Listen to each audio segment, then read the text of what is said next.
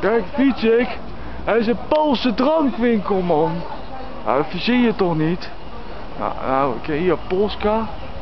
Hier een Poolse drankwinkel, meneer. Dat verzin je toch niet? Dat hebben wij in Den Haag.